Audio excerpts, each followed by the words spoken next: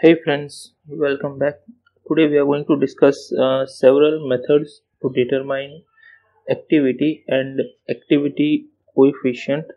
There are various methods with the help of which we can determine activity and activity coefficient.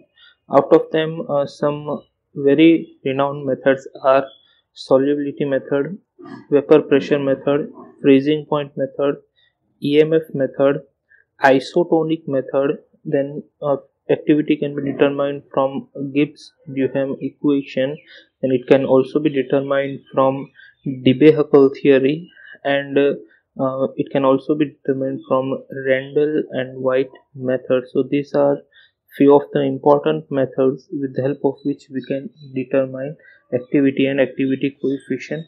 Today we are going to discuss one of the method and that is solubility method now in this method uh, we all know that when we are considering a saturated solution then there in a case of saturated solution there exists an equilibrium between the solid solute and the dissolved solute that is present in the solution. That means okay, there is an equilibrium between the dissolved solute that we have taken and the undissolved solute case for example we are uh, dissolving NaCl in water. So when we prepare NaCl or when we prepare a saturated solution of NaCl then there will be an equilibrium between the dissolved NaCl and undissolved NaCl and generally solubility method is used for determining the activities and activity coefficient of sparingly soluble salt because in sparingly soluble salt the equilibrium or sparingly soluble salt has very low solubility. They dissolve up to very low extent and hence there always exists an equilibrium between the dissolved and undissolved solute.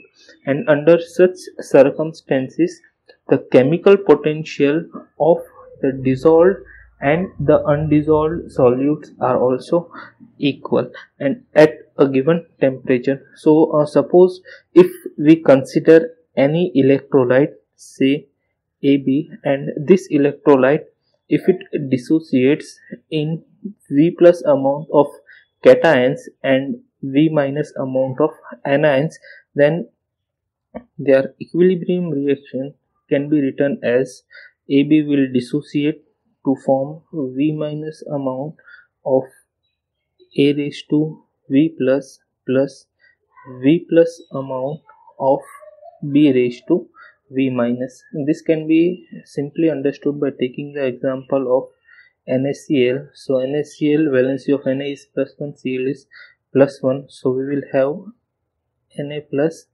plus Cl minus. So we have 1 Na plus and 1 Cl minus. Or uh, one more example can be taken like uh, dissociation of AlCl3 so in case of AlCl3 we will have Al plus 3 plus 3 Cl minus.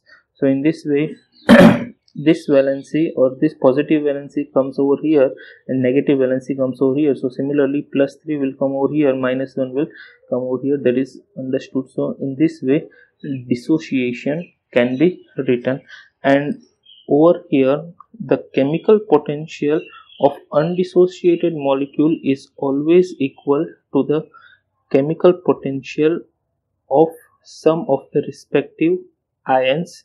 So the chemical potential of undissociated ion is always equal to the sum of the chemical potential of the dissociated ions. So hence we can write the chemical potential that is mu it is equal to v plus into chemical potential of v raised to v minus plus v minus into mu a raised to v plus.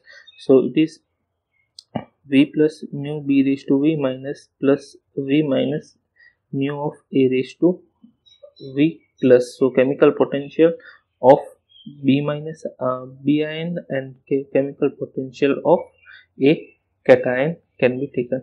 And we also know that chemical potential is related to activity by the relation that is mu is equal to mu 0 plus rt log a. So with the help of this relation chemical potential is related to activity and hence we will use the same to convert this or we will replace chemical potential by the activity terms and hence for say uh, mu of bv minus we can write it as mu 0 of bv minus plus rt log of a bv minus and similarly mu of av plus can be written as mu 0 of AV plus plus RT log of activity of AV plus. Okay. And as we know that mu 0 are constants over here so we can substitute both these values in this equation and we can directly multiply this v plus with both these terms and v minus for both these terms. And hence we can write mu will be equal to v plus mu 0 of bv minus plus v plus into rt log of activity of bv minus plus v minus mu 0 of activity of V plus plus V minus RT log activity of AV plus. Now we will rearrange this equation in the form that we will take constant terms on one side and variable terms will remain on other side. So in this equation chemical potential is constant this is constant and this term so these three terms are constant. So these three terms will be taken on one side and other terms will remain on other side. So we can we will have v plus log a bv minus plus v minus log a ab plus is equal to mu minus this will go that side so it will be minus v plus mu b0 of v minus this term also will go that side so it will be minus v minus mu 0 of av minus upon and both these terms have rt common so rt will come in division so we will have rt now all these terms which i have written on the right hand side are constants where chemical potential is constant mu 0 is the standard chemical potential that is constant mu 0 is constant r is real gas constant and we are measuring or we are performing at constant temperature. So t is also constant. So all these constants can be combined and can be written as a single constant k. Okay so our equation will become and further we know that log the if any term is on this side log it will go to the power.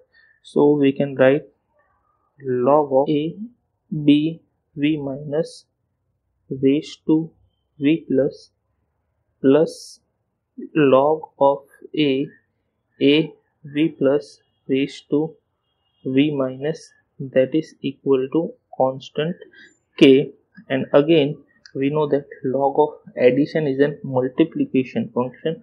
So we can combine both these terms and we can write a b v raised to minus v plus into a a v plus raised to v minus and that is equal to k. Now in order to remove the logarithm we will take the anti-logarithm on both hand side.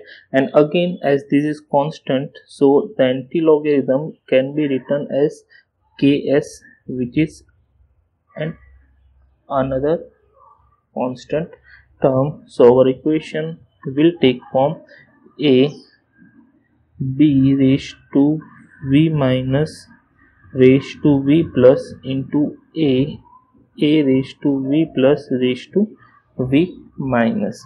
Okay where ks is another constant that we have taken. Now we all know that activity is related to several concentration terms by activity coefficient and activity can be written as gamma c that we have already seen in our previous lecture.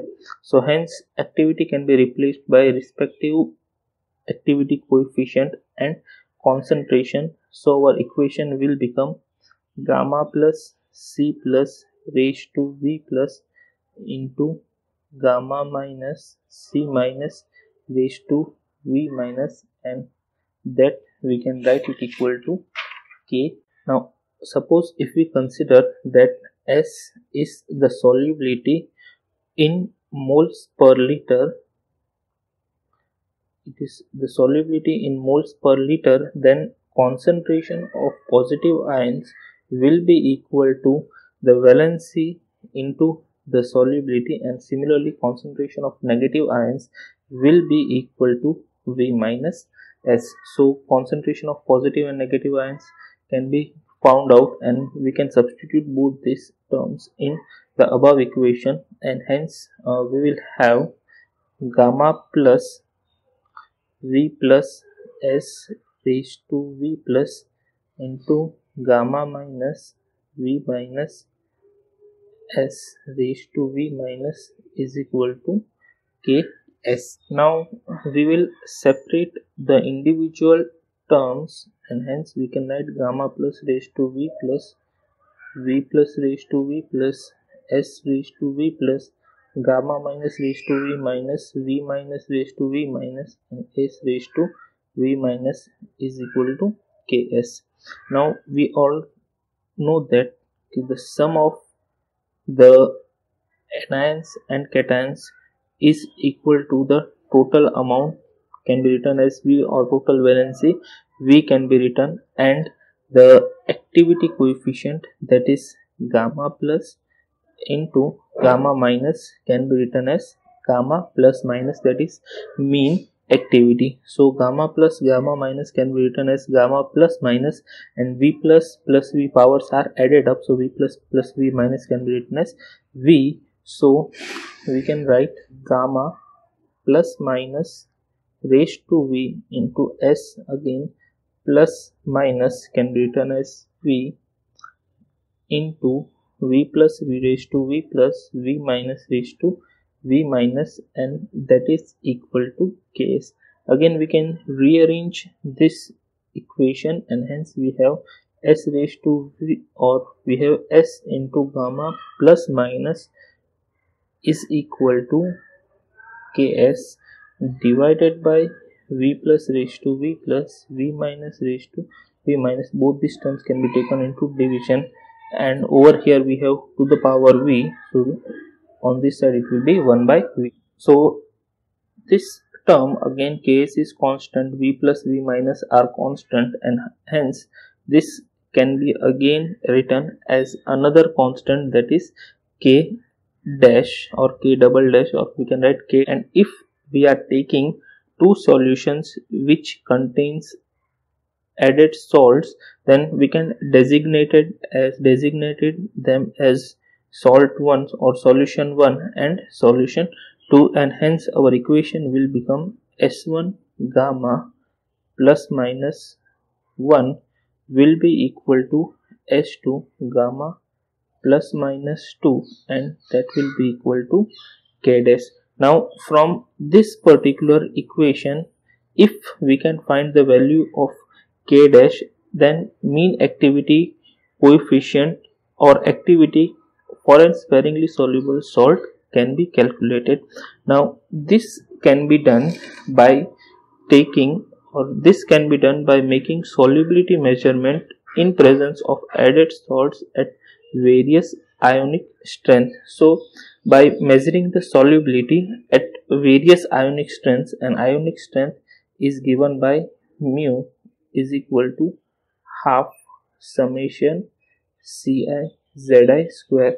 So half summation ci zi square this gives our ionic strength. So solubility at several ionic strength can be calculated and then we can plot a graph of ionic strength versus the solubility and we'll get a straight line and that straight line can be extrapolated up to infinite dilution. So we can extrapolate this straight line up to infinite dilution and this straight line will meet a point on the solubility axis. And as we know that at dilute solution or in an infinite dilute solution the activity coefficient is always unity. So activity coefficient is unity and the value of solubility which we will get will be equal to k dash. So we will find or we got the value of k dash